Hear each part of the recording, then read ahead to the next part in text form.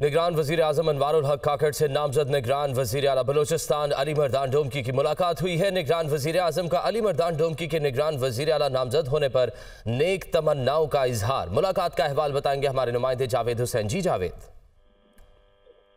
जी देखें, ये जो तफसीत वजी अजम ऑफ़िस से जारी हुई है, उसके मुताबिक, जो निगरान वजी अजम अनवारुल हक काकड़ से बलोचिस्तान के नामजद निगरान वजी अला अली मरदान डोमकी की मुलाकात हुई है और इस मुलाकात से मुतालिक बताया गया है कि मुलाकात में वजी अजम ने अली मरदान डोमकी को निगरान वजी बलोचिस्तान नामजद होने पर मुबारकबाद पेश की और नई ख्वाहिशात का इजहार किया गया। इस मौके पर जो इब्राहिम बता रहे हैं कि बलोचिस्तान की जो सियासी सूरत हाल है, उसका भी जायजा लिया गया। अमन की सूरत हाल पर भी बातचीत हुई और आइंदा आइंदा की जो हमत अमली है, उस पर भी मुशावरत हुई है।